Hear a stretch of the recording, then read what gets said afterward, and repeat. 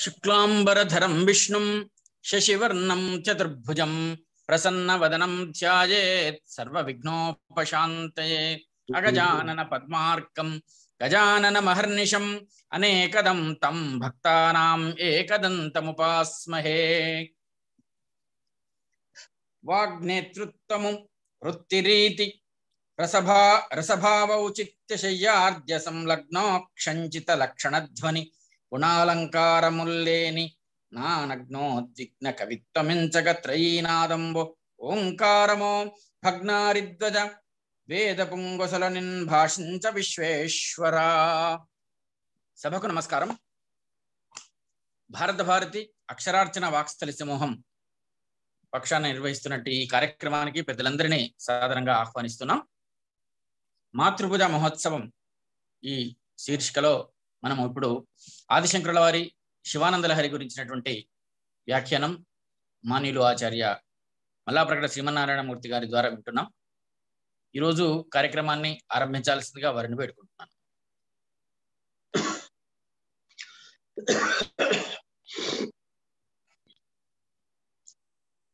నమ శివాభ్యాం నవయౌవనాభ్యాం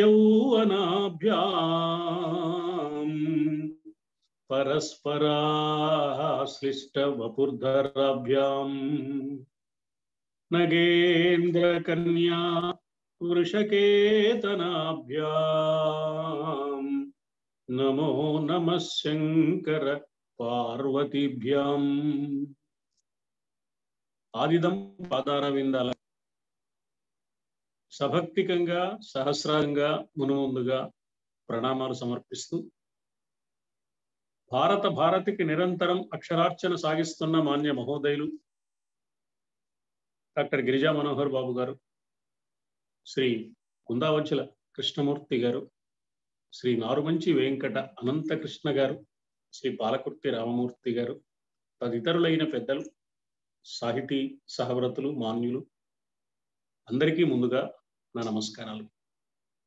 శివానందలహరిని ఆదిశంకరులు అందించిన ఈ సుధారసాన్ని ఆస్వాదించాలన్న సత్సంకల్పం ఈ కార్యక్రమంలో పాల్గొంటున్న ఆత్మీయులందరికీ ఆత్మబంధువులందరికీ నా సాధువాదాలు సమర్పిస్తూ శివానందలహరిలోని పద్నాలుగవ భాగానికి స్వాగతం. శుభస్వాగతం. కరస్థే హేమాద్రౌ గిరిశ నికటస్థే ధనపతౌ గృహస్థే స్వర్భూజ అమరసురభి చింతామణిగణే శిరస్థే సీతాంశౌ చరణయుగళస్థే అఖిల శుభే కమర్థం దాస్యేహం భవతు భవదర్థం భవతు భవదర్థం మమ మన. శివానందలహరిలోని ఇరవై ఏడవ శ్లోకం ఇది. ఏమంటున్నారు ఆదిశంకరులు? అంటే గిరిశ హేమాద్రౌ కరస్థే ధనపతౌ నికటస్థే స్వర్భూజ అమరసురభి చింతామణిగణే గృహస్థే సీతాంశౌ శిరస్థే అఖిల శుభే చరణయుగళస్థే. అహం కం అర్థం దాస్యే. భవదర్థం మమ మనః భవతు. కైలాసవాస కరస్థే హేమాద్రౌ బంగారు కొండ నీ చేతిలోనే ఉన్నది అంటున్నారు. ఆదిశంకరులు పరమశివుడితో ధనపతి అయిన కుబేరుడు నీ మిత్రుడై నీ సేవకుడై నీ చెంతనే ఉన్నాడు.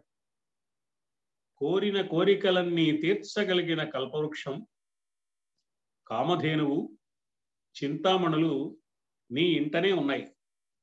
చల్లని వెన్నెల వెలుగులు వెదజల్లే చందమామ నీ తల మీదే ఉన్నాడు.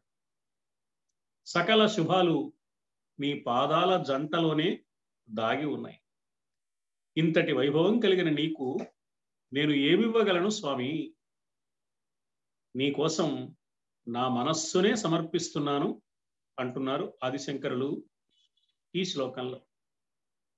ఇందులో మొట్టమొదటి మాట కరస్తే మాద్రౌ నువ్వు నివసించేది వెండి కొండ. నీ చేతిలో ఉన్నది బంగారు కొండ కైలాసాన్ని వెండి కొండ అని మేరు పర్వతాన్ని బంగారు కొండ అని అంటారు. బంగారు కొండ అంటే మేరు పర్వతం అన్నమాట. నీ చేతిలో బంగారు కొండ ఉన్నదయ్యా అంటే మేరు పర్వతం ఉన్నది స్వామి అంటున్నారు. త్రిపురాసుర సంహారం కోసం పరమశివుడు వాళ్ళతో యుద్ధం చేసినప్పుడు ఆయన చేతికి విల్లుగా అమరింది మేరు పర్వతమే. ఆ స్వామి చేతికి విల్లుగా ఉన్న ఆ మేరు పర్వతం దానికి ఒక లక్షణం ఉంది. అది సూర్య కిరణం సోకగానే సూర్యోదయం అయినప్పుడు సూర్యకిరణం సోకగానే బంగారు కాంతిలో ప్రకాశిస్తుంది. అందుకని దానికి బంగారు కొండ అని పేరు. అందుకే కాశీఖండం కథలో ఈ మేరు పర్వతం బంగారు కాంతితో ప్రకాశిస్తోంది కాబట్టి దీనితో పోటీపడి పడి వింధ్యపర్వతం అలా అలా పెరిగిపోవడం అగస్త్య మహర్షి రావడం ఆ వింధ్యపర్వతాన్ని మళ్ళీ పెరగకుండా చేయడం ఈ కథంతా కాశీఖండంలో మనం చూస్తాం. అందుకని మేరు పర్వతం బంగారు కొండలాగా మెరిసే లక్షణం ఉంది కాబట్టి దాన్ని బంగారు కొండ బంగారు కొండలాగా మెరిసే లక్షణం ఉండడం కాదు ఒక విధంగా నిజంగా బంగారు కొండ కూడా. ఎందుకంటే దేవతలకి రాక్షసులకి యుద్ధం జరిగినప్పుడు అంతకు ముందు యుద్ధంలో రాక్షసులు దేవతలను జయించి అపహరించి తీసుకువెళ్ళిన వీళ్ళ సంపదలన్నీ ఆ మేరు పర్వత సానువులో దాచుకుంటారు లోపల. ఆ కొండ చర్యల లోపలికి వెళితే అక్కడ ఉండేదంతా బంగారమే అది దేవతలది. రాక్షసులు ఒకప్పుడు తీసుకుపోయారు. రాక్షసుల్ని జయించి దేవతలు మళ్ళీ తెచ్చుకుని ఇంకోసారి రాక్షసులు తేలిగ్గా అపహరించడానికి అవకాశం లేకుండా ఉండేందుకు అక్కడ దాచుకుంటారు. అందుకే లోపల నిజంగానే బంగారం ఉంది కాబట్టి బంగారు కొండే. ఈ బంగారు కొండని తన చేతిలో విల్లుగా ధరించాడు. త్రిపురాసుర సంహారం చేయడం సామాన్యమైన విషయం కాదు. అందుకని అందుకు కావలసిన ఏర్పాట్లన్నీ చేసుకున్నాడు పరమశివుడు. ఈ భూమండలాన్నే రథంగా చేసుకున్నాడు. సూర్య చంద్రులను ఆ రథానికి చక్రాలుగా అమర్చాడు. మేరు పర్వతాన్ని విల్లుగా తీసుకున్నాడు. ఆ వింటిలో సంధించి విడవడానికి వీలైన బాణం సాక్షాత్తు శ్రీ మహావిష్ణువే బాణంగా ఉన్నాడు. వేదాలు గుర్రాలుగా ఉంటే బ్రహ్మదేవుడు సారథిగా ఉంటే ఆ రథం ముందుకు సాగింది యుద్ధం నడిచింది. కాబట్టి ఈ యుద్ధంలో ప్రధానమైన అంశం మేరు పర్వతం విల్లుగా ఉంది విల్లు చేతిలో ఉంటుంది. ఆ మేరు పర్వతానికి బంగారు కొండ అనే పేరుంది. కాబట్టి బంగారు కొండ నీ చేతిలోనే ఉన్నదయ్యా. కరస్థే మాద్రౌ అందుకని అది బంగారు కొండే. తర్వాత నికటస్థే ధనపతవు. బంగారు కొండని చేతిలో పెట్టుకున్న వాడికి మనం ఏమి ఇవ్వగలం? బంగారు కొండ ఆయన దగ్గర. కొండ అంత బంగారం ఉంది ఆ మహానుభావుడి దగ్గర. ఆయనకి మనం ఏమి ఇచ్చి సంతోష పెట్టగలం తనకు లేకపోతే కదా ఒకరిచ్చే దానికోసం ఎదురు చూడవలసిన అవసరం పరమశివుడికి. కొండంత బంగారం మీద ఆధిపత్యం కలిగిన మహానుభావుడికి నువ్వు ఏమిస్తావయ్యా? ఏమివ్వగలను స్వామి నేను? అంటున్నారు ఆదిశంకర్. పోని ఆ అంశం పక్కన పెట్టి ఇంకేమైనా అనుకూలమైన ఆలోచన ఉంది అని చూస్తే ఆయన మిత్రుడు ఎవరు ధనపతి అంటే కుబేరుడు.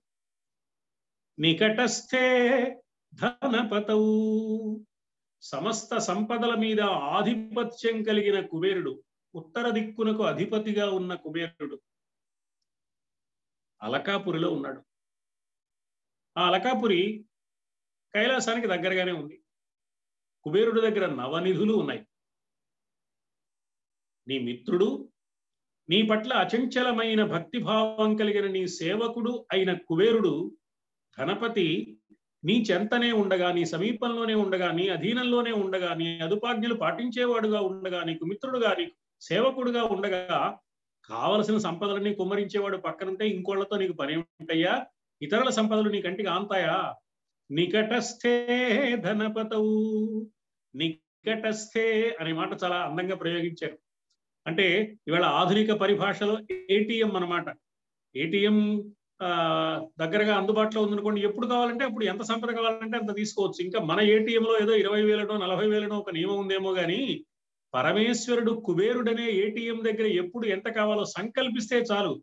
కార్డు పెట్టడం పిరు నెంబర్ నొక్కడం ఈ గొడవ కూడా లేదు. సంకల్ప మాత్రం చేత కుబేరుడు ప్రత్యక్షమై రెండు చేతులు జోడించి పరమశివుడి పాదాలకు నమస్కారం చేసి కావలసిన సంపదలన్నీ అక్కడ కురిపిస్తాడు. అంతటి మిత్రుడుగా అంతటి సేవకుడుగా అంతటి భక్తుడుగా కుబేరుడు నీ అధీనంలోనే నీ సమీపంలోనే నీకు దగ్గరగానే ఉన్నాడు కదా పరమేశ్వర. నికటస్థే ధనపతవు. ఇక గృహస్థే నీ ఇంట్లో ఏమున్నాయి? స్వర్భూజ అమరసురభి చింతామణిగణే స్వర్భూజ. కల్పవృక్షం ఉంది. అమరసురభి కామధేను ఉంది. చింతామణి గణే చింతామణి ఒకటి కాదు చింతామణుల యొక్క సముదాయం ఒక్క చింతామణి ఉంటే చాలు తరతరాలకు సరిపడినంత సంపద ఉన్నట్టు లెక్క. అలాంటిది చింతామణుల సముదాయం ఉంది. ఇక కామధేను సరే సరే ఏమి కావాలంటే అది ఇస్తుంది. కల్పవృక్షం కూడా అలాంటిది. కల్పవృక్షం ఉంది కామధేను ఉంది చింతామణుల సముదాయం ఉంది. ఇదంతా నీ ఇంట్లో నీ పెరట్లో నీ ఆవరణలో నీకు అందుబాటులో నీ అధీనంలో సిద్ధంగా ఉంది. గృహస్థే స్వర్భూజ అమరసురభి చింతామణి గణే. ఏమంటున్నారు ఆదిశంకరులు? పరమేశ్వర నీ ఇంటిలోనే అంటే కైలాసంలోనే కల్పవృక్షము కామధేనువు చింతామణి సముదాయము ఉన్నాయి. ఇవి ఎలాంటివి అంటే కోరినవన్నీ కోకొల్లలుగా ఇచ్చేవి అలాంటివి. అవి నీ ఇంట్లో ఉన్నాయి. ఎవరినో అడిగి తెచ్చుకోవాల్సిన పని లేదు. నీ ఇంట్లోనే ఉన్నాయి. నీవే అవి.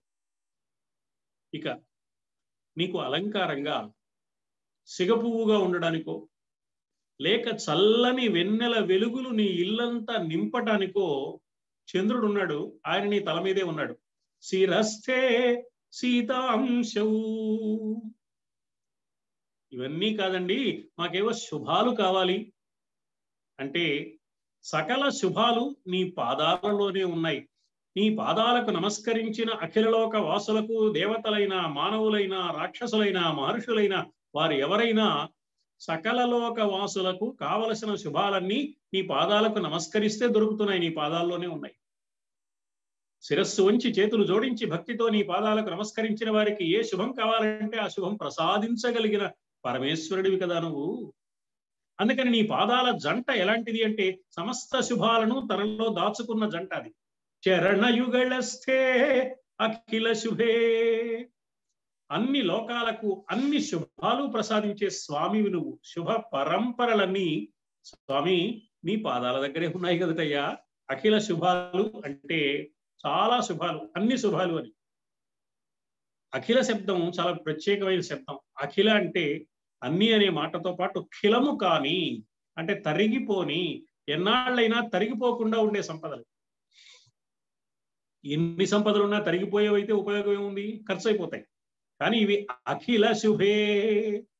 పరమశివుడి పాదాల పం జంట ఎలాంటిది అంటే ఎనడు తరగని కరగని శుభ పరంపరల పంట ఆ జంట. చరణయుగళస్థే అఖిల శుభే.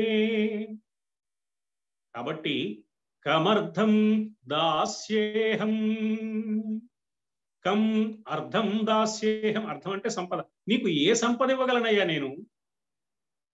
అహం నేను కం అర్థం ఏ సంపదను దాస్యే ఇవ్వగలను? ఏ సంపదిస్తే నీకు లెక్క? ధనపతి బంగారు కొండని చేతిలో పెట్టుకున్న స్వామి నువ్వు. అలాంటి స్వామికి తాను ఏ బంగారు ఆభరణాలు ఇచ్చి ఆనందం కలిగించగలడు ఏ భక్తుడైనా? ఆదిశంకరులు తన సంగతి చెప్తున్నట్లుగా భక్తులందరి పరిస్థితిని వివరిస్తున్నారు.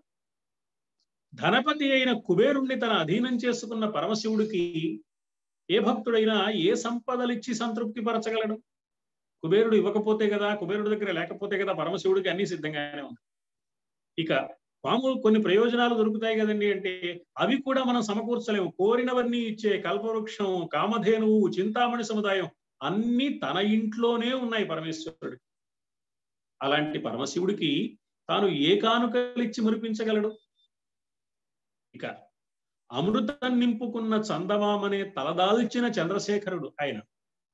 అలాంటి స్వామికి ఏ ఉపచారాలు చేసి సంతోష పెట్టగలడు ఆయనకి ఏ ఉపచారాలు చంద్రు చంద్రుడే చేస్తున్నాడు తల మీద ఉండి.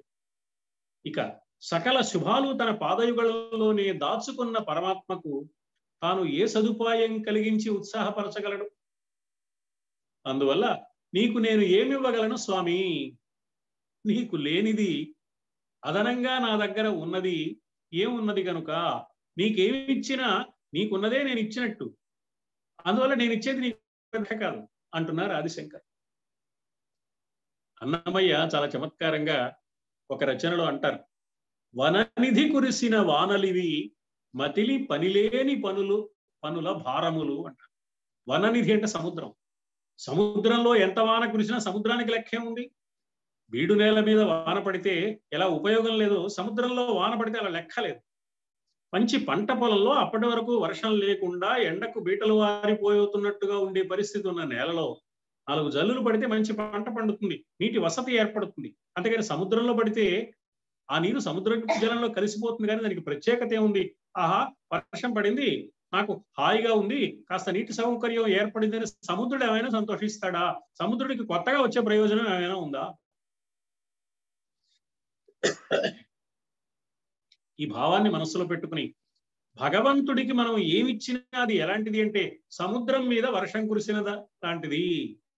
వననిధి కురిసిన వానలివి మతిని పనిలేని పనుల భారములు అంటారు అన్నవి అన్నీ ఉన్న దైవానికి తాను ఏ కానుకలు ఇవ్వగలడు ఏ భక్తుడైనా. భగవంతుడికి ఒక పేరుంది. భగవంతుడికి ఉన్న చాలా పిల్లలు ఒక పేరు అవాప్తకాముడు అని.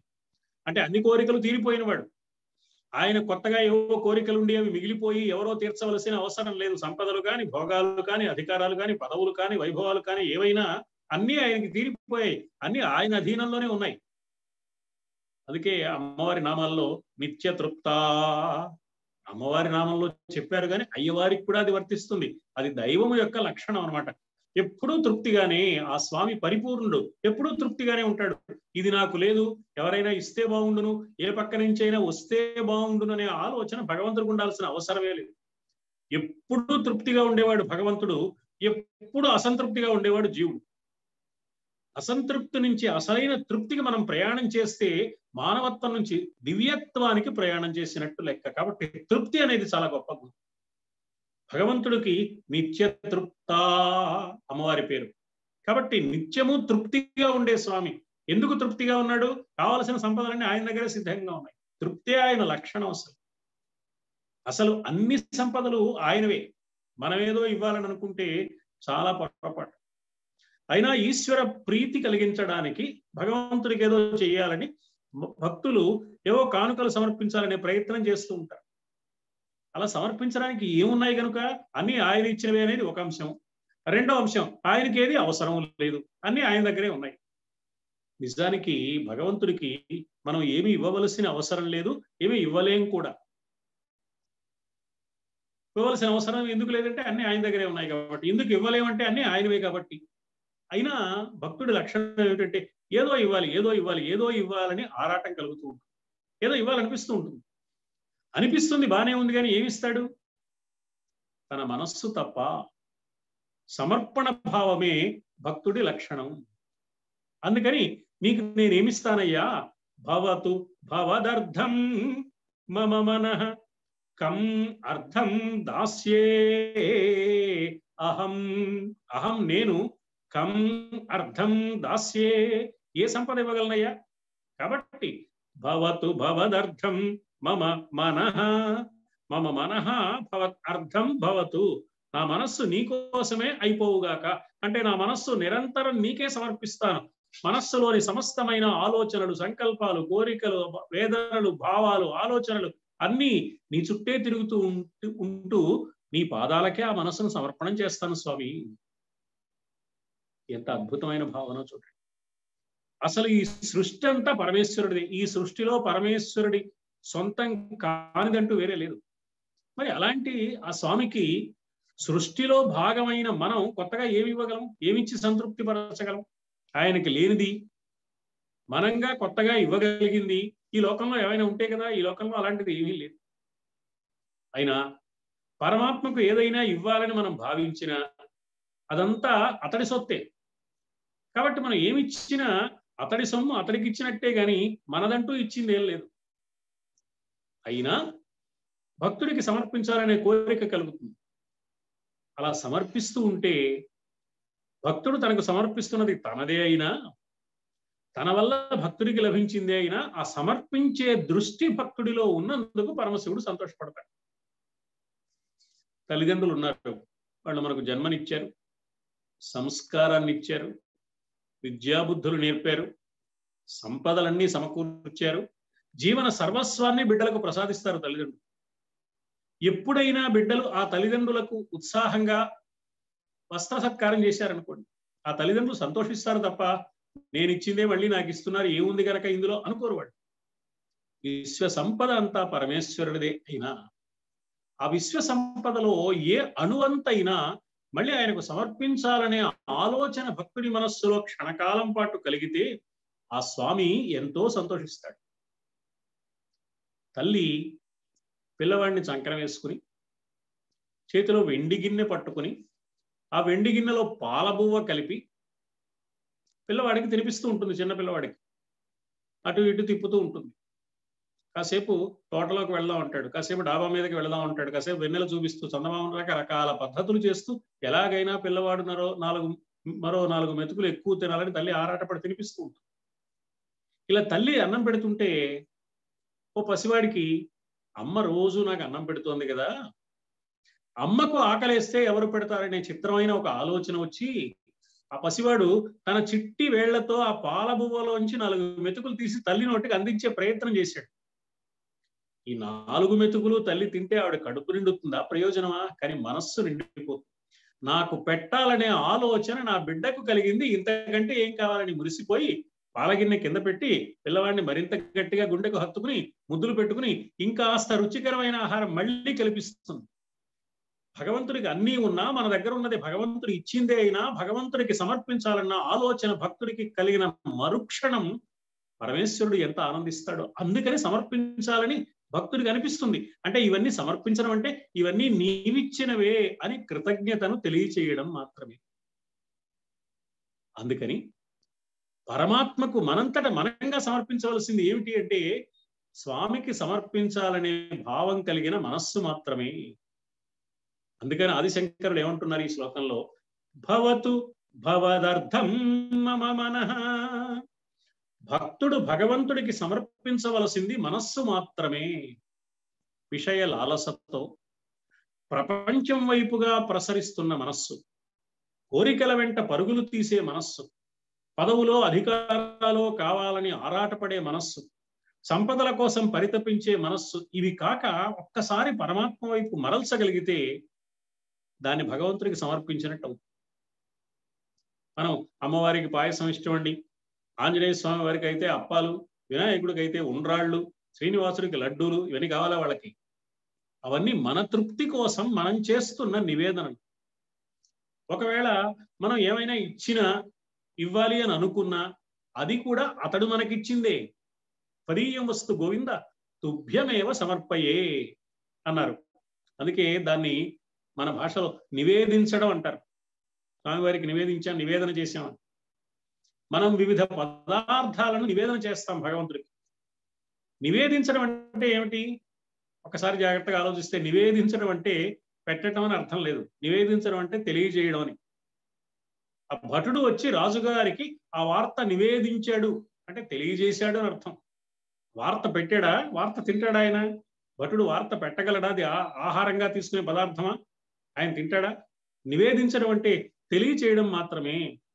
భగవంతుడికి మన ఇంట్లో వండుకున్న పదార్థాలను నివేదన చేయడం అంటే స్వామి నీ అనుగ్రహంతో మాకు నాలుగు వేళ్ళు నోట్లోకి పోతున్నాయి మా ఆకలి తీరుతోంది మా జీవనం సాగుతోంది. నీ అనుగ్రహంతో ఈవేళ ఇగో ఇగో ఈ పదార్థాలు వండుకున్నాం ఈ పప్పు వండుకున్నాం ఈ కూర సిద్ధం చేసుకున్నాం ఈ ఈ పులుసు మా కోసం ఏర్పాటైంది అని నీ అనుగ్రహంతో ఇవన్నీ పొందామని కృతజ్ఞత నివేదనమే నివేదన చేయడం అంటే. అంతేగాని మనం పెట్టాము ఆయన తిన్నాడు అని కాదు. నిజంగా ఆయన తినడం ప్రారంభిస్తే పెట్టగలిగిన వాడు ఎవడున్నాడు? ఎంత పెట్టగలం మనం? సమస్త విశ్వాన్ని కబళించగలిగిన లయకారకుడైన పరమేశ్వరుడికి ఏ పదార్థం పెట్టి నువ్వు సంతృప్తి పరచగలవు అందువల్ల నివేదించడం అంటే తెలియచేయడమే కానీ పెట్టడం అని తినడం అని అర్థం కాదు. దైవ అనుగ్రహంతో ఇవన్నీ మేము పొందాము స్వామి అని దైవానికి కృతజ్ఞతలు నివేదించడమే. నివేదన చేయడం అంటే అప్పుడు నివేదన చేశాక పదార్థం కాస్త ప్రసాదంగా మారుతుంది. మా మిత్రుడు ఒక ఆయన చమత్కారంగా అన్నాడు నైవేద్యం ఉన్న ఇంట నైవైద్యం అన్నాడు. ఎప్పుడైతే మనం తీసుకునే ఆహారం భగవత్ ప్రసాదంగా మారిందో కావలసిన శక్తియుక్తులన్నీ వస్తాయి. మామూలు ఆహారం కాదది పరమేశ్వరుడు ఇచ్చిన ప్రసాదం అవుతుంది. ఆ ప్రసాదంలో శక్తి ఉంటుంది పుష్టి ఉంటుంది తుష్టి ఉంటుంది కావలసిన సమస్తము ఉంటుంది కాబట్టి దైవ భావనతో దాన్ని ప్రసాదంగా స్వీకరించినప్పుడు అది ఆరోగ్యాన్ని మానసిక ఆరోగ్యాన్ని కూడా మంచి ఆలోచనలు కూడా వాటి వల్ల కలుగుతాయి. నేను సంపాదించాను కాబట్టి ఈ ఆహారాన్ని తీసుకోగలుగుతున్నానని అహంకరిస్తే ఈ తీసుకున్న ఆహారం కూడా మరింత అహంకార భావానికి దోహదమవుతుంది. అందువల్ల నివేదించడం అంటే తెలియచేయడం తప్ప పెట్టడం తినడం కాదు. మన ఇంటికి అతిథి వచ్చాడు. వస్తే మనం ఏం చేస్తాం? ఒక పలహారం ఇవ్వాలనుకుంటాం. ఈ పలహారాన్ని ఒక పాత్రలో పెట్టిస్తాం. ఈవేళ వచ్చే పేపర్ ప్లేట్ అయినా కావచ్చు లేక వెండి పాత్ర అయినా కావచ్చు వెండి పళ్ళెమే కావచ్చు. ఎందులో పెట్టి ఇచ్చిన స్టీల్ పళ్ళెం కావచ్చు ప్లాస్టిక్ కావచ్చు పింగాణి కావచ్చు వెండి ఏదైనా కావచ్చు. ఓ పళ్ళెంలో పెట్టిస్తాం. వచ్చిన అతిథికి మనం పాత్రలో పెట్టి పలహారం ఇస్తాం. అతిథి ఏం చేస్తాడు? ఆ పలహారం స్వీకరిస్తాడు తింటాడు పాత్ర వదిలేస్తాడు. భగవంతుడికి మనం ఇవ్వాలనుకున్న పలహారం పదార్థం ఏమిటి అంటే మన మనస్సు. ఇక్కడ పాత్రలో పులిహోర పెట్టి నివేదన చేసినట్టుగా పులిహోర అనే పాత్రలో భక్తుడు తన మనస్సు అనే పదార్థాన్ని నివేదన చేస్తాడు. భగవంతుడు ఏం చేస్తాడు? అతిథి పదార్థం తీసుకుని పాత్ర వదిలేసినట్లుగా మన మనస్సుని ఆ మనస్సులో ఉన్న భక్తిని స్వీకరించి ఆ పులిహోరను పాయసాన్నో చక్కెర పొంగలను ఆ పదార్థాన్ని ప్రసాదంగా మనకు విడిచిపెడతాడు. పాత్ర కదా వదిలేస్తాడు. ఇక్కడ పదార్థమే పాత్ర. మనస్సే అసలు పరమాత్మకు సమర్పించదగిన పదార్థం. అందువల్ల భక్తుడు చేసే ఈ పని భగవంతుడు ఆ విధంగా స్వీకరిస్తాడు కాబట్టి నివేదన చేయడం అంటే తెలియచేయడం మాత్రమే. అలా భక్తుడు తన మనస్సును ఆ మనస్సులోని భక్తిని పదార్థంగా చేసి ఫలహారం అనే పాత్రలో పెట్టి దైవానికి సమర్పిస్తాడు. ఇక్కడ భక్తుడి మనస్సే నివేదించవలసిన పదార్థం. భక్తుడు పెట్టే పలహారం కేవలం ఒక పాత్ర. మనస్సును ప్రత్యక్షంగా సమర్పించడం మనకు తెలియకే ఆ పేరుతో ఏవో నివేదనలు చేస్తూ ఉంటాం. మనస్సు సమర్పించడం మనకి ఎలాగో తెలియదు అందుకని. ఆ స్వామి ఏం చేస్తాడు? భక్తుడి మనస్సు అనే పదార్థాన్ని స్వీకరించి అందులో ఉన్న ఆహార పదార్థం అనే పాత్రను ప్రసాదంగా మనకే వదిలేస్తున్నాడు. కాబట్టి మనం సమర్పించవలసింది ఏ పదార్థము కాదు అది అక్కర్లేదు ఆయనకి. మనస్సు కావాలి. మనం సమర్పించవలసింది మనస్సే సుమా. సమర్పణ విషయంలో పదార్థం కాదు మనస్సే ముఖ్యం. పరిపూర్ణమైన భక్తితో ఏం సమర్పించినా అది విలువైంది. ఆ భక్తి లేకపోతే ఎంత విలువైంది సమర్పించినా అది ఎందుకు పనికిరాదు? కుచేలుడు కృష్ణుడి దగ్గరికి వెళ్ళినప్పుడు కుశల ప్రశ్నలన్నీ అయిపోయాక గురుకులవాసాన్ని గురించి కబుర్లు చెప్పుకున్న తర్వాత కృష్ణుడు అడిగాడు నా కోసం ఏం తెచ్చావు కుచేలా అని? నా ఎందుల భక్తిని చేసి నాకు ఉపాయనంబుగా ఏమి పదార్థంబు తెచ్చితివి? అక్కడ వచనంలో చెప్పారు పోతన్న గారు. నా ఎందుల భక్తిని చేసి నాకు ఉపాయనంబుగా కానుకగా ఏం పదార్థము తెచ్చితివి? ఆ పదార్థము లేశమాత్రం పైన పదివేలుగా అంగీకరింతు. ఏ చాలా తక్కువ తెచ్చానే. విలువైంది కాదే. ఇది చాలా చిన్న విషయం నువ్వు దిగులు పడక్కర్లా. ఆ పదార్థంబు లేశమాత్రం పైన పదివేలుగా అంగీకరింతు. అక్కడితో ఆగలేదు పరమాత్మ. ఇంకొక మాట అన్నాడు. వ్యాసుల వారు చెప్పారు. పోతన్న గారు చాలా అందంగా అనువాదం చేశారు వచనంలో. అట్లు కాక మద్భక్తింతగులని దుష్టాత్ముండు హేమాచల తుల్యంబైన పదార్థంబును సంగినను అది నాకు సమ్మతంబు కాదు. నా పట్ల భక్తి లేనివాడు ఆడంబరం కోసం హంగామా కోసం పది మంది చూడడం కోసం మీడియాలో కనపడడం కోసం వీడియో ఫోటో తీయడం కోసం పత్రికల్లో ప్రచురింపబడడం కోసం హంగామా చేస్తే అది వాడు మురిసిపోవడానికే తప్ప నాకేమీ అందులో సంతోషం లేదయ్యా. మద్భక్తిని తగులని దుష్టాత్ముండు హేమాచల తుల్యంబైన పదార్థంబు నొసంగినను అది నాకు సమ్మతంబు కాదు. ఏం పెట్టావన్నది ముఖ్యం కాదు ఎలాంటి మనస్సుతో ఇచ్చావన్నదే ముఖ్యం. పరమాత్మకి మనస్సే ప్రధానం. ఇది కుచేలుడి కథలో కృష్ణుడు చెప్పిన మాటల్లో మనకు తెలుస్తుంది. అందుకే మన వాళ్ళు ఒక మాట అంటూ ఉంటారు కొండంత దేవుడి కొండంత పత్రి ఇవ్వగలవా? అనే మాట మన వాడుకలో అందుకే వచ్చింది. సంపన్నుడైన భక్తుడు వైభవంగా ఆడంబరంగా ఆర్జిత సేవలు నిర్వహించవచ్చు. కానీ సామాన్యుడు అలా చేయగలడా? ఏమిచ్చినా అందులో మనస్సు ప్రధానం భక్తి ప్రధానం. పరమాత్మ స్వీకరించేది మనం సమర్పించవలసింది భక్తి భక్తితో కూడిన మనస్సే కదా. అమితామోద నవ ప్రసూనముల నిన్నర్చించుచో. అమిత ఆమోద నవ ప్రసూనముల ఎవ్వరు తీసుకురాని పుష్పాలనే నేను తీసుకొచ్చా కొత్త రకమైన పుష్పాలు మంచి సువాసనతో ఉన్నాయి అనుకుంటూ ఉంటాడు ఒక భక్తుడు. అమిత ఆమోద నవ ప్రసూనముల నిన్నర్చించుచో. మరో భక్తులు ఏమనుకుంటాడంటే అసలు నాకు వచ్చినన్ని స్తోత్రాలు నాకు తెలిసినన్ని పద్యాలు ఎవరికి తెలుసు కనుక అవసరమైతే సొంతంగా కూడా ఓ పద్యం చెప్పగలను దేవుడి మీద అనుకుంటూ ఉంటాడు పాపం. గద్య పద్యములు హించిను తించుచో. ఇంకా సంగీతము పాద్య విశేషాలు తెలిసిన వారు వివిధ గీతౌరాతము పాడుచో. పాయసం పులిహోర అలాంటివి నివేదన చేస్తూ ఉంటారు కొందరు. అమృతాహారములిచ్చుచో. నాట్య కళా కౌశలం కలిగిన భక్తుడు పరమేశ్వరుడు ఎదుట నృత్యం దర్శయామి కాసేపు నాట్యం చేస్తాడు. ఇవన్నీ సేవలు. అంటే ఈ కళారూపాలు కానీ ఈ సంపదలు కానీ ఈ వైభవాలు కానీ నువ్విస్తే వచ్చినవి అని కృతజ్ఞతాభావంతో స్వామి ఎదుట మళ్ళీ ప్రదర్శించడం అనమాట ఇలా చేస్తే అమితామోదనవ ప్రసూనముల నిన్నర్చినుచుచో గద్య పద్యములు హించిను తించుచో వివిధ గీతౌరాతముల్ పాడుచో అమృతాహారములిచ్చుచో నిపుణుడై ఆటాడుచో. యథావాక్కుల అన్నమయ్య అనే కవి సర్వేశ్వర శతకంలో అంటున్నాడు. ఇన్ని చేస్తే మనం స్వామి అందు చిత్తము సద్భక్తియే నీవు చేకొను పదార్థం వెళ్ళ సర్వేశ్వర. అందులో నువ్వు స్వీకరించేది భక్తుడి మనస్సుని ఆ మనస్సులో ఉన్న భక్తిని మాత్రమే స్వీకరిస్తావు. ఈ పదార్థాల జోలికే నువ్వు రావు కదా. వీటితో నీకు పని ఉందయ్యా? సర్వేశ్వర శతకంలో అన్నమయ్య అన్నమాట. అందువల్ల పరమాత్మకి మనం ఇచ్చే పదార్థాలతో పని లేదు. ఆ పదార్థాలు సమర్పించడం చాటున మన భక్తి ఎలాంటిది? అందుకే ఇందాక కుచేరుడు వృత్తాంతం చెప్పుకున్నాం కృష్ణుడి కథ. ఆ కృష్ణుడు ఏమన్నాడు?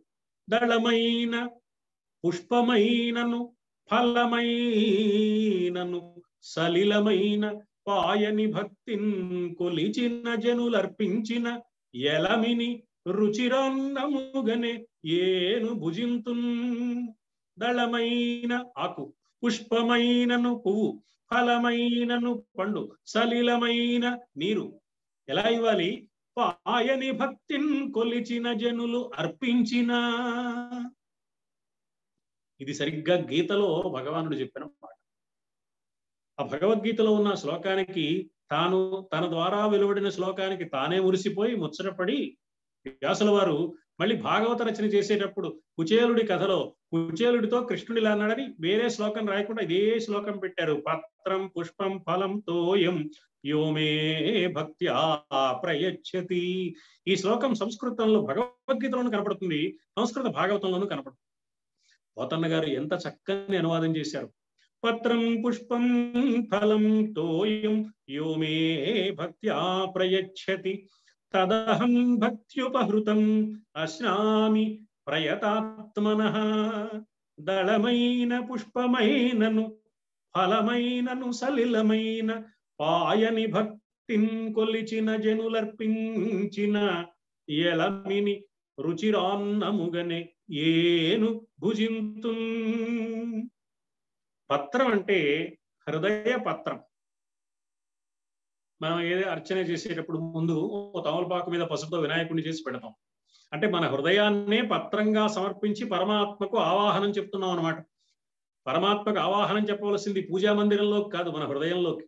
పూజా మందిరంలో ఇదివరకే ఉన్నాడు ఆయన కొత్తగా నువ్వు పిలిచేది ఏంటి? విశ్వస్య ఆవాహనం కుత అన్నారు ఆదిశంకర్ నిజమేనండి పూజా మందిరానికి పిలవక్కర్లేదు అక్కడ ఇదివరకే ఉన్నాడు అంటున్నారు. నీ హృదయంలోకి మాత్రం పిలవడం ఎందుకు? అక్కడ ఇదివరకు లేడా?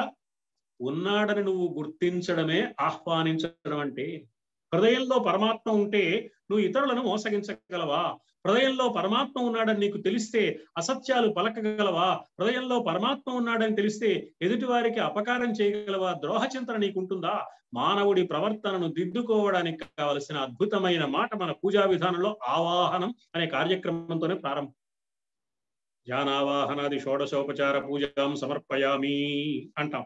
వరుసగా ఈ మంత్రాలేవో వల్లి వేసేసి ఆ పుష్పాలు అక్షతలో ఆ విగ్రహం మీద వేసేసి అయిపోయింది వాటికి టైం టేబుల్ ప్రకారం పూజ పూర్తయిపోయింది అని మురిసిపోతే నువ్వు మురిసిపోతావు కానీ పరమశివుడు కదా మురిసిపోవలసింది. ఆయన ఎప్పుడు మురిసిపోతాడు అంటే ఈ ఆవాహనం చాటున నా హృదయంలో పరమాత్మ ఉన్నాడన్న విశ్వాసం అనుక్షణం నీకుందా? ఈ ధ్యానం అన్న పేరుతో ఇప్పుడు చేస్తున్నది. ఈ చేస్తున్న కాసేపే కాకుండా మిగతా అంత సమయంలోనూ నీ మనస్సులో నిలిచి ఉన్నదా ఈ భావన? ఇలా మొత్తం ఈ సేవలన్నీ కూడా నిరంతరం భగవంతుడి పేరుతో భగవంతుడికి ప్రతిరూపంగా ఉన్న ఈ ప్రాణులందరికీ సమర్పించడానికి కావలసిన మానసిక సంస్కారం నీకున్నదా? అది చూస్తాడు భగవంతుడు. అందుకని హృదయ పత్రమే పత్రం. అలాగే పుష్పం అంటే మనస్సే పుష్పం. ఎందుకు? మనస్సు మంత్ర పుష్పం ద్వారా మనస్సును పుష్పంగా భావన చేసి పరమేశ్వరుడికి ఇస్తాం. అందుకే దాతా పురస్తాద్యముదాజహార. అని ప్రారంభించి మంత్రపుష్పం చదువుతారు ఆలయంలో. మన చేతికి పుష్పం ఇస్తారు అర్చక స్వామి వారు. మన హృదయం దగ్గర పెట్టుకుంటాం. గుండె చీల్చి దాన్ని ఇవ్వలేక మంత్రపుష్పం పేరుతో ఈ పుష్పాన్ని హృదయం దగ్గర పెట్టుకుని ఆ మంత్రపుష్పం చదవడం అయిన తర్వాత మళ్ళీ స్వామివారికి ఇస్తాం. అర్చక స్వామివారికి. ఆయన స్వామివారికి పూజ చేస్తాడంటే మన మనస్సు సమర్పించాం అనమాట కేవలం ముక్కుబడిగా యాంత్రికంగా జరిగే ఈ క్రియాకలాపాలు వ్యర్థమైనవి కాదు. వాటిని సార్థకం చేసుకోవాలి అంటే ఆ తీరు తెనులు తెలిసి ఆ చింతన కలిగి ఆ పనులు చేయాలి. అర్చన చేయడం తప్పు కాదు ఆలయానికి వెళ్ళడం తప్పు కాదు ఆలయంలో మంత్రపుష్పం చదవడం నేరం కాదు. ఇవన్నీ మంచివే. పనికిరానివి కాదు. కానీ వాటిని పనికిరానివిగా చేసుకుంటున్నది మనం. వాటి ఉపయోగం లేకుండా వాటిని మొక్కుబడిగా చేస్తున్నాం. అలా కాక వాటి ఆంతర్యాన్ని గుర్తించి మనం చేసుకోగలిగితే మంత్రపుష్పం సమర్పిస్తున్నాము అంటే మంత్రశక్తి ఆధారంగా మనస్సును పుష్పంగా మలచి భగవంతుడికి సమర్పిస్తున్నాం అనమాట కాబట్టి పత్రం పుష్పం పత్రం అన్న మనస్సే పుష్పం అన్న మనస్సే. ఫలం పండు. పండు ఇవ్వచ్చు పరమాత్మకి. ఆయన తింటాడా? ఏం పండు ఇవ్వాలి? అంటే పూజ చేసిన అభిషేకం చేసిన ధ్యానం చేసిన జపం చేసిన తపస్సు చేసిన యజ్ఞం చేసిన యాగం చేసిన మనకేదో పుణ్యం వస్తుంది అనుకుంటున్నామే అది ఫలం. యాగ ఫలం పుణ్య ఫలం యజ్ఞ ఫలం పూజా ఫలం పారాయణ ఫలం తపఫలం ఏతత్ఫలం శ్రీ పరమేశ్వర అర్పణమస్తు. మూడు గంటలు కష్టపడి జపం చేసి ఏతత్ఫలం శ్రీ పరమేశ్వర అర్పణమస్తు. ఎందుకండి ఇంత కష్టపడి జపం చేసిన తర్వాత కాస్త ఈ పుణ్యం కాస్త భగవంతుడికి ఇచ్చేయడం? అనిపిస్తుంది మనకి. కానీ ఈ పూజా ఫలం ఈ పుణ్య ఫలం మనకు కావాలని కాదు. ఈ పుణ్య ఫలం మీద దృష్టితో చెయ్యలేదు పుణ్యకార్యం. మనకి ఎవరి మీదైనా ప్రేమ ఉంటే వాళ్ళ నుంచి ఏదో ఆశించి ప్రేమిస్తే అది ప్రేమ అవ్వదు. అవసరం అవుతుంది. ప్రేమించకుండా ఉండలేని తనంతో వాళ్ళకి ఏదో సమర్పించాలి అనుకుంటే లౌకికమైన మానవుల మధ్య ఉండే ప్రేమలోనే పవిత్రత అప్పుడు మాత్రమే వచ్చేటట్లయితే భగవంతుడి విషయంలో పవిత్రత రావాలి అంటే ఆ ప్రేమ యథార్థమైన ప్రేమ కావాలి అంటే ఏమీ ఆశించకుండా దాంతో ఆలోచన లేకుండా సమర్పించకుండా ఉండలేని తనంతో సమర్పించడం కావాలి. అందువల్ల మనం చేసిన అర్చనకు ఏదో ఫలితం వస్తే ఈ ఫలితం వల్ల ప్రయోజనం పొందాలి అనే కోరిక కాక భగవంతుడికే దీన్ని సమర్పించాలి కాబట్టి ఏతత్ఫలం శ్రీ నారాయణ అర్పణమస్తు ఏతత్ఫలం శ్రీ పరమేశ్వర అర్పణమస్తు పుణ్య ఫలం మనకు ఉంటే పుణ్యఫల అనుభవం కోసం మళ్ళీ జన్మ పాప ఫలం మనకు మిగిలితే పాప ఫలాన్ని అనుభవించడానికి మళ్ళీ జన్మెత్తాలి. కాబట్టి మరుజన్మ లేని మోక్షం కావాలనే కోరికతో యథార్థమైన అర్చన చేసే భక్తుడు ఎవరైనా సరే పుణ్యఫలం ఉంచుకోడు పాప ఫలం ఉంచుకోడు. ఈ రెండు లేకుండా ఉండాలంటే ఏం చేయాలి అంటే మన వాళ్ళు ఏం చెప్పారు? పాప ఫలం రాకుండా ఉండాలంటే ఒక్కటే చేయాలి పాపం చేయకుండా ఉండడమే. పుణ్యఫలం రాకుండా ఉండాలంటే పుణ్యం చేయకుండా ఉండడమే అలా పుణ్యకార్యం చేయమన్నారు. దైవాన్ని పూజించమన్నారు. పారాయణ చేయమన్నారు అభిషేకం చేయమన్నారు దాన ధర్మాలు చేయమన్నారు సాటి వాడిని ఆదుకోమన్నారు. ఇవన్నీ చేసి ఈ ఫలితం మాత్రం నీకే ఇచ్చేస్తున్నాను నాకు నాకు వద్దు అనుకోవడం అనమాట ఇప్పుడు పుణ్యం బ్యాలెన్స్ ఉండదు. పాపం ఎలాగో చెయ్యడు కాబట్టి పాపం బ్యాలెన్స్ ఉండదు. రెండు లేవు కాబట్టి మరుజన్మ లేదంటే మోక్షానికి అర్హత అప్పుడు మాత్రమే సిద్ధిస్తుంది. మోక్షం ఎప్పుడు వస్తుంది జ్ఞానం కలిగితే. జ్ఞానం ఎప్పుడు వస్తుంది పరమేశ్వర అనుగ్రహం కలిగితే. పరమేశ్వర అనుగ్రహం ఎప్పుడు కలుగుతుంది? పాపకార్యాలు ఆచరించకుండా పుణ్యకార్యాలు ఫలితం మీద దృష్టి లేకుండా నిర్వహించగలిగినప్పుడు. ఫలాపేక్ష లేకుండా సత్కార్య ఆచరణ. దానివల్ల పరమాత్మకు దయ కలుగుతుంది. అలాగే పాపకార్యాలు ఆచరించకపోవడం వల్ల పరమాత్మకు మన ఎందు అనుగ్రహం కలుగుతుంది. కాబట్టి ఫలం అంటే ఇక్కడ పూజా ఫలం తోయం. ఈ శ్లోకాన్ని జాగ్రత్తగా చూసిన పోతన్న గారు చాలా జాగరూకులై తెలుగు అనువాదం చేసిన పద్యాన్ని మనం పరిశీలించిన పత్రం పుష్పం ఫలం తోయం నీరు. తెలుగులో కూడా దళమైన పుష్పమైనను ఫలమైనను సలిలమైన పాయని భక్తిన్ కొలిచిన జనులర్పించిన ఎలమిని రుచిరాన్నముగనే ఏను భుజింతున్. అశ్నామి ప్రయతాత్మన అశ్నామి ఏను భుజింతు నేను తింటాను అన్నాడు. నీళ్ళు తింటాడా? నీళ్ళు తాగుతాను అని కదా అనాలి. పా- ఆకు తింటాడు పోని అనుకుందాం కాసేపు. పండు తింటాడు. పుష్పాన్ని తింటాడా? పోని పుష్పాన్ని కూడా తిన్నాడు అనుకుందాం. అవి తినడానికి పదార్థాలుగా కనపడ నీళ్ళు ఎలా తింటాడు నీళ్ళు తాగాలి కానీ నీళ్ళు నవ్వులుతున్నాడు అంటారు. అది నవ్వుతాడా? కాబట్టి నీళ్ళు తాగాలి. కానీ అశ్నామి తింటాను అనే క్రియాపదాన్ని సంస్కృతంలోనూ తెలుగులోనూ కూడా ప్రయోగించారు. అంటే అర్థం ఏమిటంటే పరమాత్మ అనుభవంగా స్వీకరించేది నీ మనస్సులోని ఆలోచన విధానాన్ని మాత్రమే. నీ జీవన వైఖరి సక్రమంగా ఉంటే ఆయన స్వీకరిస్తాడు. నిన్ను అనుగ్రహించాలని ఆ జాబితాలో వేసుకుంటాడు. అందుకని జలం అంటే ఇక్కడ ఏమిటి అంటే నీరంటే దానం చేసేటప్పుడు మనం చేతిలో నీళ్ళు పోసుకుని ఎదుటివాడికి వదిలేసి దానం చేస్తాం. దానధార జలం. అందుకే దానం చేస్తే నీళ్ళు వదిలేశాడండి అంట. దానం చేయడం అనమాట అంటే అహంకార భావన లేకుండా మమ సంపద మీద మమకారం లేకుండా నాకు ఇంత సంపద ఉంది అనే అహంకారం లేకుండా దానం అలా చేయాలి. తద్దానం సాత్వికం స్మృతం. దానం ఎలా చేయాలో కూడా భగవద్గీత చెప్పింది. అహంకార మమకార భావనలు లేకుండా నేను చేస్తున్నాను అనే భావన లేకుండా నేను కాబట్టి ఇంత దానం చేస్తున్నాననే ఉద్దేశం లేకుండా ఇంతకంటే ఇవ్వలేకపోతున్నానని సిగ్గుపడుతూ ఎందుకు దానం చేయాలో తెలుసుకుంటూ శ్రద్ధగా ఇవ్వాలి. ఇవ్వకపోతే ఈ సంపదకు ఫలితం లేదు కాబట్టి మరుజన్మలో భగవంతుడు మళ్ళీ ఇవ్వడని భయపడుతూ ఇవ్వాలి. తన సంపదకు స్థాయికి తగినట్టుగా ఇవ్వాలి. ఒక కోటీశ్వరుడి దగ్గరికి పెడితే లక్ష రూపాయలు ఇవ్వాలి. అందరిలాగా యాభై రూపాయలు ఇచ్చి సరిపెట్టకూడదు. అందుకే శ్రియాదేయం ధియాదేయం శ్రద్ధయాదేయం అశ్రద్ధయా అదేయం భక్త్యాదేయం సంవిధాదేయం ఎందుకు ఇవ్వాలో తెలిసి ఇవ్వాలి ఎలా ఇవ్వాలో తెలిసి ఇవ్వాలి ఇవ్వడం అంటే ఏమిటో తెలుసుకుని ఇవ్వాలి. అందుకని ఇలా ఇస్తే ఆ ఇచ్చేటప్పుడు చేసే దానధార జలం పరమాత్మకు చాలా ప్రీతిపాత్రమైంది. ఇది భక్తితో ఇస్తే తదహం భక్త్యుపహృతం. పాయని భక్తిన్ కొలిచిన జనులర్పించిన.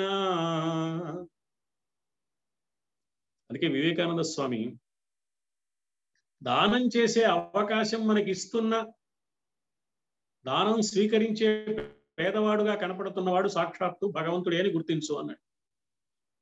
అందుకే ఆయన దరిద్ర నారాయణుడు అనే పేరు తయారు చేశాడు. దరిద్ర నారాయణుడు.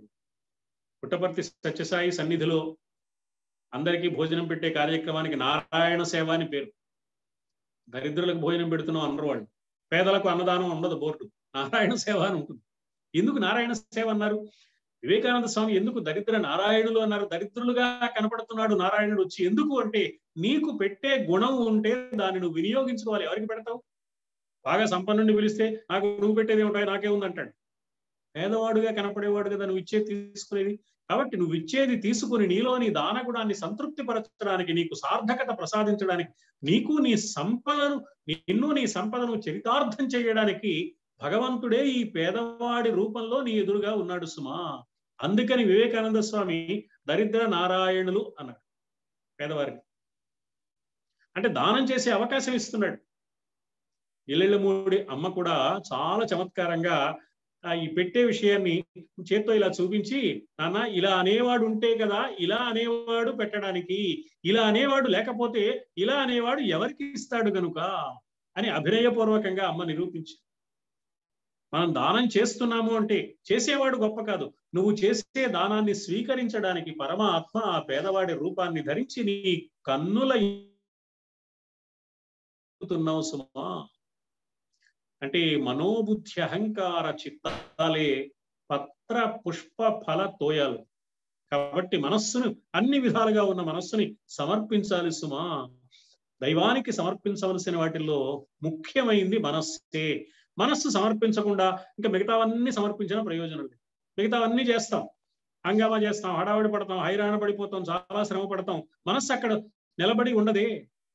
నిరంతరము ఉండాలి. పూజ చేసే కాసేపే కాకుండా ఎప్పుడు ఉండాలి? పూజ చేసే కాసేపు కూడా ఉండడల్లా. ఎందుకంటే మిగతా హంగామా అంతా పెంచుకున్నాం కాబట్టి ఈ హంగామా ఏర్పాటు చేసుకోవడంలో ఈ అవ ఈ మిగతా హంగులన్నీ సమకూర్చుకోవడంలో సరిపోతుంది. మనస్సు దృష్టి దాని మీద ఉంటుంది.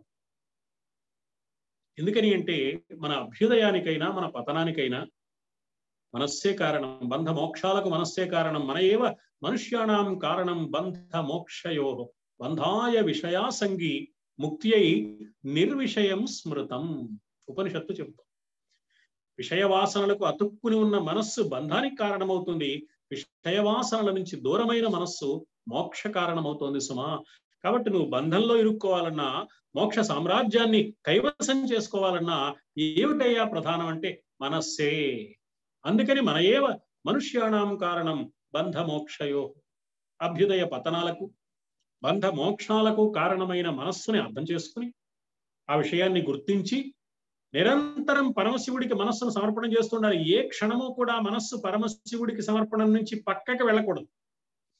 మరో చోటకి మనస్సు సమర్పణం చేసే స్థితి వచ్చిందంటే ఆ మేరకు భగవంతుడికి దూరం అయినట్టే పూజ ఒక గంట సేపే చేయవచ్చు కానీ మనస్సు భగవంతుడికి సమర్పించడం అనే క్రియ నిరంతరం జరుగుతూ ఉండాలి. నిత్యము కూడా కాదు నిరంతరము జరుగుతూ ఉండవలసిన ప్రక్రియ. ఈ నిరంతరం జరిగే ప్రక్రియ మనస్సుకు అలవాటు కావడానికి ఓ గంట సేపు పూజ ఓ గంట సేపు అభిషేకం ఎప్పుడైనా కొద్ది రోజులు విశేష అర్చనలు దేనికి అంటే అలవాటు కావడానికి అభ్యాసం వల్ల ఈ స్థితి మనస్సుకి బాగా సంస్కార రూపంలో పట్టుబడడం కోసం. ఓ మూడు నెలలు ట్రైనింగ్ ఇస్తారు ముప్పై ఏళ్ళు ఉద్యోగం చేస్తాడు. ఈ మూడు నెలల ట్రైనింగ్ ముప్పై ఏళ్ళ ఉద్యోగానికి దోహదం చేసేందుకే తప్ప ట్రైనింగ్ పీరియడ్ చాలా బాగుందండి ఎప్పుడూ ట్రైనింగ్లోనే ఉంటా అంటే కుదరదు. ఈ ఈ ట్రైనింగ్లో ఏం నేర్చుకున్నావో దాన్ని ఉద్యోగ జీవితంలో నువ్వు సేవా రూపంలో చూపించాలి.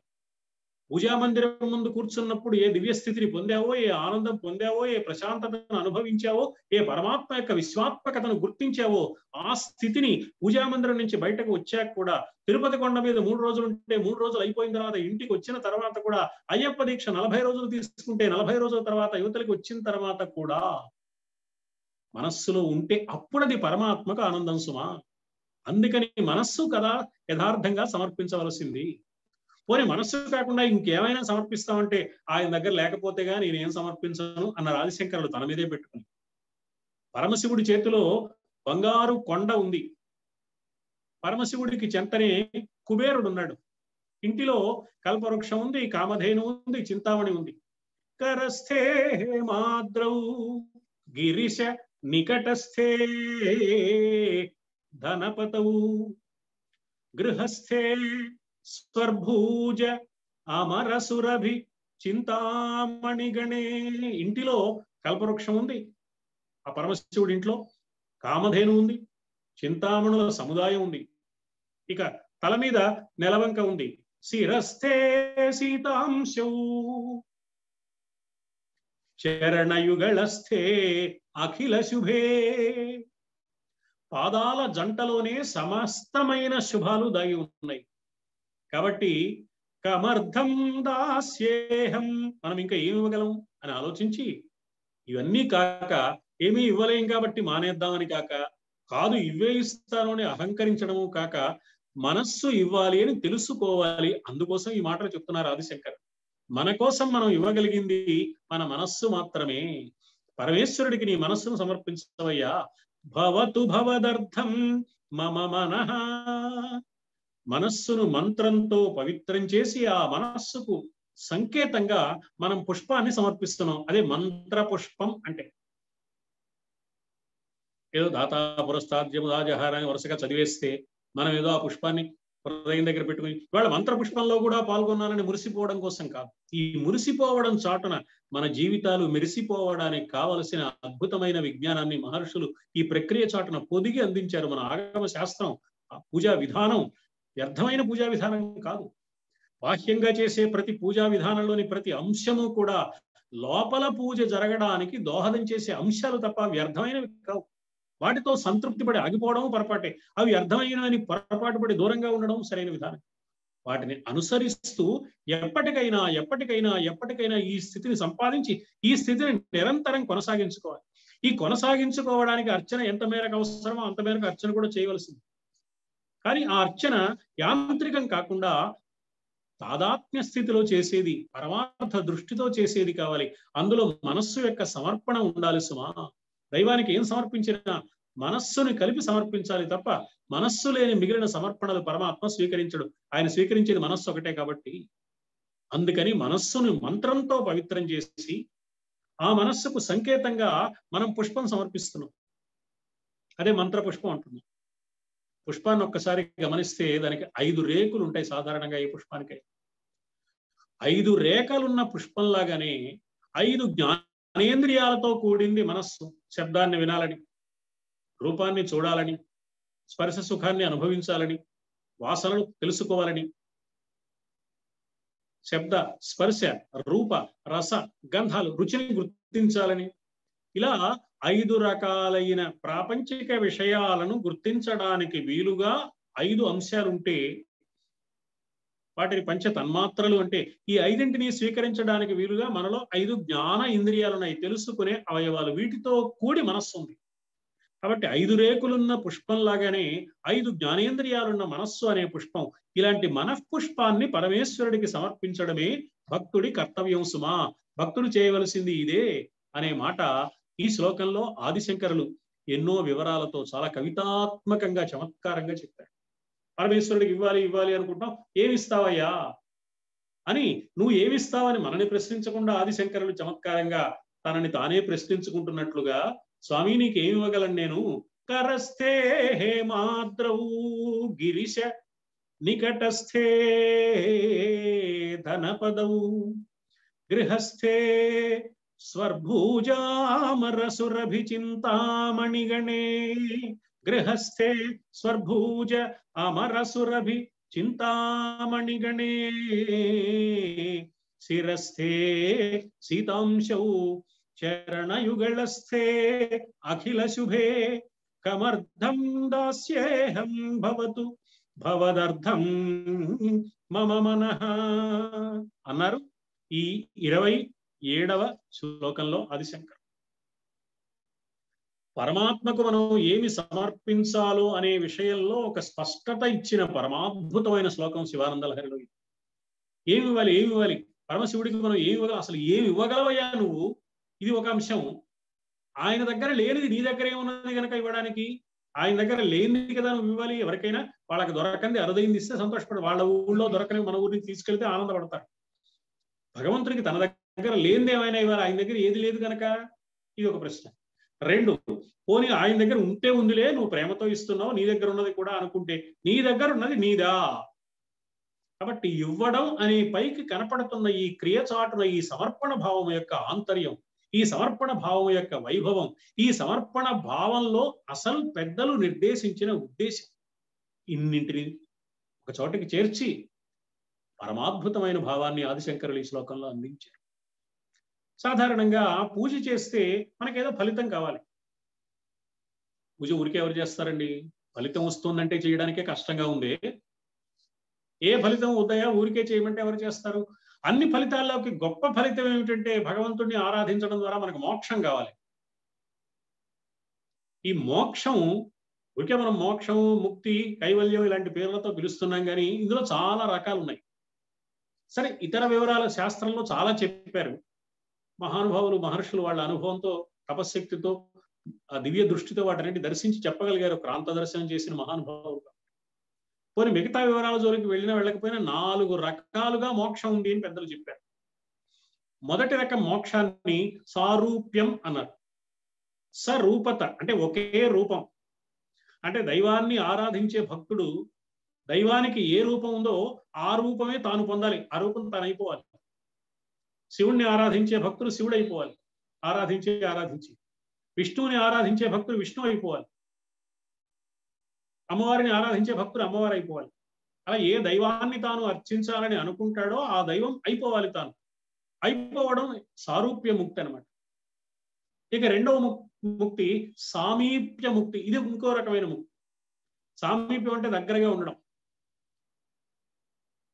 శ్రీ మహావిష్ణువు ఎక్కడ ఉంటాడండి వైకుంఠంలో ఉంటాడు. కాబట్టి నేను కూడా వైకుంఠానికి వెళ్ళి అక్కడ లక్ష్మీనారాయణలో సేవ చేస్తూ కాలం గడపాలి. నేను కూడా కైలాసానికి వెళ్ళి పార్వతీ పరమేశ్వరులను సేవించుకుంటూ జీవితం గడపాలి. నేను కూడా మణిద్వీపానికి వెళ్ళి అమ్మవారిని అర్చిస్తూ కాలం గడపాలి. కాబట్టి సామీప్య ముక్తి అంటే సమీపానికి వెళ్ళాలి. దగ్గరగా ఉండాలి. ఎక్కడో దూరంగా ఉన్నాను భూలోకంలో ఉన్నాను. అమ్మవారు ఎక్కడో ఆ సుధాసాగరం మధ్యలో మణిద్వీపంలో ఉంది. పరమేశ్వరుడు ఎక్కడో కైలాసంలో ఉన్నాడు. ఆ కైలాసం ఎక్కడుందో? శ్రీ మహావిష్ణువు అయితే ఎక్కడో క్షీరసాగరం మధ్యలో వైకుంఠంలో ఉన్నాడు. కాబట్టి అక్కడికి వెళ్ళాలి నేను. లేదా ఆయన ఇక్కడికి వచ్చి తన సామీప్యాన్ని నాకు చూపించాలి. కాబట్టి రెండవ రకమైన ముక్తి సామీప్య ముక్తి. సారూప్యం తవ పూజనే. శివ మహాదేవేతి సంకీర్తనే సామీప్యం ఇక మూడవ రకమైన ముక్తి సాలోక్య ముక్తి. అంటే ఆయన ఏ లోకంలో ఉంటాడో ఆ లోకంలో ఉండడం. అప్పుడే కదా సామీప్యం కుదిరేది. ఈశ్వరుణ్ణి ఆరాధించే భక్తుడు కైలాసంలో ఉండాలి కైలాసానికి వెళ్ళిపోవాలి. విష్ణువుని ఆరాధించే భక్తుడు వైకుంఠంలోనే నివసించగలగాలి. అమ్మను అర్చించే సేవకుడు మణిద్వీపంలో ఉండి నిరంతరం అమ్మ సేవ చేసే అవకాశాన్ని సద్వినియోగం చేసుకోవాలి. ఆ లోకంలో ఉండడం సలోకం. భగవంతుడు ఏ లోకంలో ఉన్నాడో ఆ లోకంలో తాను కూడా ఉండడం సాలోక్యం. నాలుగవ రకమైన ముక్తి సాయుధ్యం అంటే ఆ పరమాత్మతో తాదాత్మ్యాన్ని పొందడం. అందులో కలిసిపోవడం. ఇంకా వేరుగా ఇద్దరు లేరు. ఆ లోకంలో ఉండడం ఆ సమీపంలో ఉండడం ఆ రూపాన్ని పొందడం కాదు. అదే అయిపోవడం. అందువల్ల సచరాత్ సచర శివభక్తి ధుర్య జనత సాంగత్య సంభాషణే సాలోక్యం సచరాచరాత్మక తనుధ్యానే భవానీపతే సాయుధ్యం మమ సిద్ధమత్ర భవతి స్వామిన్ కృతార్థోస్మ్యహం ఈ నాలుగు రకాలైన మోక్షాలు కావాలి. ఇందులో ఎవరి తరహా కావలసిన మోక్షం వాళ్ళు కోరుకుంటారు. ఆదిశంకరులు ఏమంటున్నారంటే ఇరవై ఎనిమిదవ శ్లోకంలో పరమేశ్వర ఈ మోక్షం నాలుగు రూపాల్లో ఉంది నాలుగు పద్ధతులుగా ఉంది నాలుగు రకాలుగా ఉంది బాగానే ఉంది. కానీ ఈ నాలుగు రకాల్లో ఏ రకమైన మోక్షం అయినా పొందాలి అంటే సాధారణంగా ఏం చెప్తారు అంటే కొన్నాళ్ళు జీవించి భగవంతుణ్ణి తనకు తోచిన పద్ధతిలో ఏదో ఒక విధంగా ఆరాధించి ఈ ఆరాధనకు ఫలంగా శరీరము రాలిపోయిన తరువాత ఆ రకమైన మోక్షాన్ని పొందడం. శరీరం ఉండగా కాదు. శరీరం రాలిపోయిన తర్వాత పరమేశ్వరుడి దివ్య అనుగ్రహంతో ఈ లోపల ఉన్న యాతనా శరీరం సారూప్యాన్ని పొందుతుంది. దాన్ని యాతనా శరీరం అన్నారు శాస్త్రంలో. అది సామీప్యాన్ని పొందుతుంది పరమేశ్వరుడి సన్నిధానానికి వెళ్ళి. అది సాలోక్యాన్ని పొందుతుంది. కైలాసంలోనే ఉంటూ అది సాయుధ్యాన్ని పొందుతుంది పరమేశ్వరుల్లో లీనమైపోయి. ఇదంతా కూడా శరీరం రాలిపోయిన తర్వాత జరిగే వ్యవహారం అని చెప్పారు. శరీరం రాలిపోయిన తర్వాత ఏం జరుగుతుందో మనం చూసామా పెట్టామా మనకేం తెలుసండి? అదేదో ప్రయోజనం ఇప్పుడు కలిగితే నమ్ముతాం కానీ ఎప్పుడో అయితే మనకి ఏం ఆనందం గనక ఉన్నదో లేదో మనకేం తెలుసు కనుక ఒకవేళ జరిగితే మాత్రం మనకి ఒరిగేది ఏమిటి అనే భావం మనకు ఉంటుంది కాబట్టి ఈ భావాన్ని దృష్టిలో పెట్టుకుని ఆదిశంకరులు అవన్నీ ఇప్పుడే ఇక్కడే ఈ లోకంలోనే సిద్ధంగా ఉన్నాయి. పరమేశ్వరుణ్ణి అర్చించే విధానంలో సారూప్యముక్తి ఉంది సామీప్యముక్తి ఉంది సాలోక్యముక్తి ఉంది సాయుధ్యముక్తి ఉంది. ఇవన్నీ ఇక్కడే సిద్ధంగా ఉండగా ఇంకేం కావాలి స్వామి? నేను కృతార్థుణ్ణైపోయాను. నాకు కావలసిన ప్రయోజనం నెరవేరింది అని దివ్య ఆనంద పారవస్యాన్ని కృతజ్ఞతాపూర్వకంగా పరమేశ్వరుడికి నివేదిస్తున్నారు ఇరవై ఎనిమిదవ శ్లోకంలో ఆదిశంకర్. సారూప్యం తవ పూజనే శివ మహాదేవేతి సంకీర్తనే సామీప్యం శివభక్తి ధుర్యజనిత సాంగత్య సంభాషణే సాలోక్యం సచరాచరాత్మక తనుధ్యానే భవానీపతే సాయుధ్యం మమ సిద్ధమత్ర భవతి స్వామిన్ కృతార్థోస్మ్యహం అన్నారు. ఈ నాలుగు విధాలైన పద్ధతుల్లో ఉన్న ముక్తి ఇక్కడే ఈ లోకంలోనే లభిస్తుంది అంటున్నారు ఆదిశంకరులు. అది ఎలా లభిస్తుందో వచ్చే శుక్రవారం నాడు కొనసాగే ఈ ప్రవచన వాహినిలో వచ్చే శుక్రవారం నాడు మనం తెలుసుకునే ప్రయత్నం చేద్దామని ఆత్మీయులందరికీ సవినయంగా విజ్ఞప్తి చేసుకుంటూ స్వస్తి సర్వేషాం సమస్త సన్మంగళాన్ని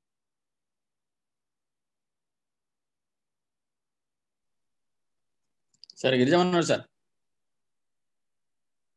గిరిజమన్నారు గారు.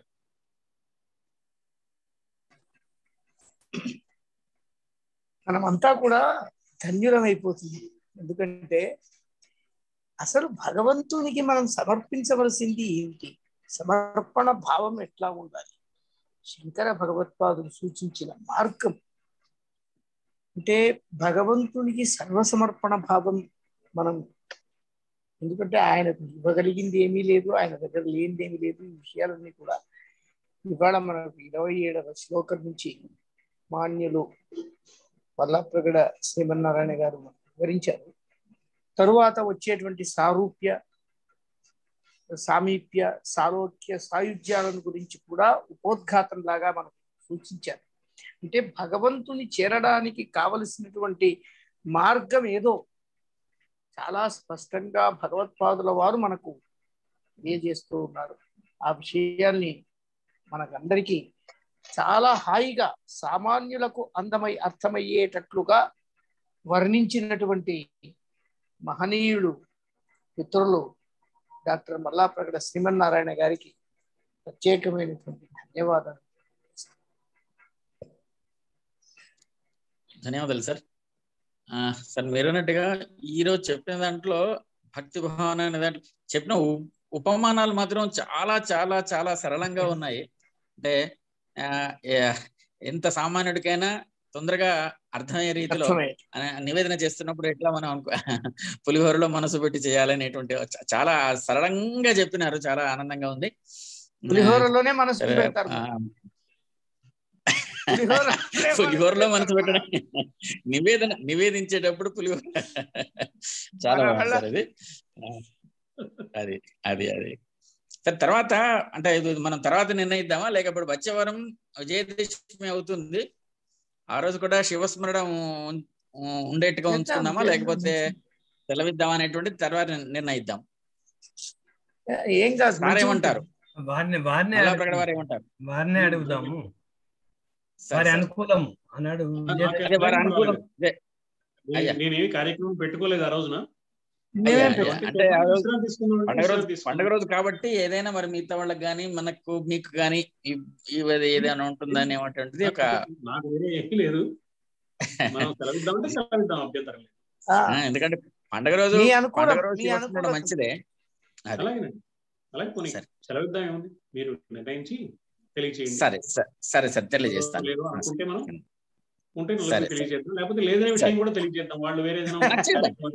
అదే. అవును అవును అవును. అవును అంటే ఇన్విటేషన్ వస్తే మనకు ఇప్పుడు మనకు సరిగ్గా పంపించేది ఇన్విటేషన్ వస్తే కార్యక్రమం ఉన్నట్టు ఇన్విటేషన్ లేకపోతే కార్యక్రమం లేనట్టు అంతే. అట్లాగే చేద్దాం. చెప్తా చెప్తాంలే ఒక రెండు రోజుల ముందుగా ఒక రెండు రోజుల ముందుగా మీరు నాకు వర్కింగ్. డేనా హాలిడేనా తెలియజేయండి. సెలవు ఇచ్చారా? కాలేజీకి తప్పకుండా. వెళ్ళాలి? అదే అదే అదే. అలాగే. మంచిదండి. అంటే ఏం కాలేదు అదే టైం సాయంత్రం పూట టైం కాబట్టి ఎవరైనా జమ్మికి వెళ్ళేటి వాళ్ళు వాళ్ళ వాళ్ళు ఏమన్నా ఉంటాయి. ఐదు నుంచి ఆరు వరకు పోతారా? పోకపోవచ్చు ఉంటుంది. అది సాయంకాలం పూట కాబట్టి అది.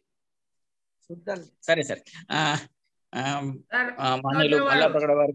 మళ్ళా. అయ్యా. కుందవజ్జుల వారు. చెప్పండి చెప్పండి. మల్లాప్రగడ వారు సెలవిచ్చారు. ఏం చేస్తే బాగుంటుందో?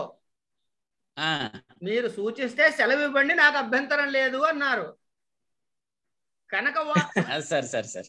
అది ఆ రోజు పండగ కాబట్టి ఒక్కరోజు బ్రేక్ ఇవ్వండి కొంచెం. మళ్ళీ మీరు కమ్యూనికేట్ చేసి చేయటం ఇబ్బంది అవుతుంది కాబట్టి.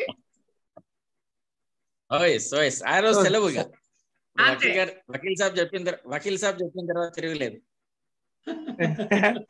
న్యాయవాది న్యాయవాది. సార్ వచ్చే వారం సెలవు ప్రకటి వచ్చే వారం సెలవు ప్రకటిస్తున్నాం. శివానంద లహరికి ఈ రోజు కార్యక్రమంలో చాలా చక్కటి విషయాలు వివరించినటువంటి మాన్యులు మల్లా ప్రకట శ్రీమన్నారాయణ మూర్తి గారి పాదపద్మాలకు నమస్కరిస్తూ రేపు సుప్రసన్న సాహిత్య వివచన కార్యక్రమంలో కృష్ణోపనిషత్తుకు సంబంధించిన మరికొన్ని విశేషాలని తెలియజేయడానికి డాక్టర్ దీవి నరసింహ దీక్షితులు గారు రేపు సాయంకాలం ఆరు నుంచి ఏడు వరకు మనకు తమ ప్రసంగాన్ని అందిస్తారు. అట్లాగే ఎల్లుండి స్వీయ కావ్య పరిచయం పేరిట జరుగుతున్నటువంటి ఈ కార్యక్రమంలో ఆచార్య అనమండల భూమయ్య గారు కబంధ మోక్షం తన స్వీయ పద్య కావ్యం కబంధ మోక్షం గురించినటువంటి విశేషాలను మనకు తెలియజేస్తారు. ఈ రెండు కార్యక్రమాలు కూడా పెద్దలందరినీ ఆహ్వానిస్తూ ఈనాటి కార్యక్రమాన్ని కృష్ణస్థుతితో ముగించుకుందాం. ఆరు టు ఏడు. అవునండి. ఆరు ఏడు. శుక్రవారం మాత్రం ఐదు నుంచి ఆరు శనివారం ఆదివారం ఆరు నుంచి ఏడు గంటల వరకు ఈ మార్పు బహుశా అందరికీ అలవాటైపోయింది మనం రెండు మూడు వారాల నుంచి చేస్తున్నాం కాబట్టి మీరు ప్రకటనలో కింద రాయాల్సిన అవసరం లేదు. అయ్యా రేపు వచ్చే వారం నుంచి తీసేద్దాం అది అట్లా. ఎందుకంటే మళ్ళా. మార్పు ఏముందో అని కన్ఫ్యూజ్ అవుతుంటారు అవునవును అవును తీసేద్దాం సరే. సరే శృతివల్లీ వికసద్వినీల కుసుమ కుసుమస్తోమ ప్రభాభాసమానతనూమ్లాన ప్రసూన సాయక ధను నందాంగనా ప్రేమ పూరిత దృగ్జాల నిబద్ధ చాపల కృపాదృష్టిన్ విలోకింపవే మతి నీ పదయుగీనమై వెలుగునందన్ గోపికా వల్లభ నమస్కారం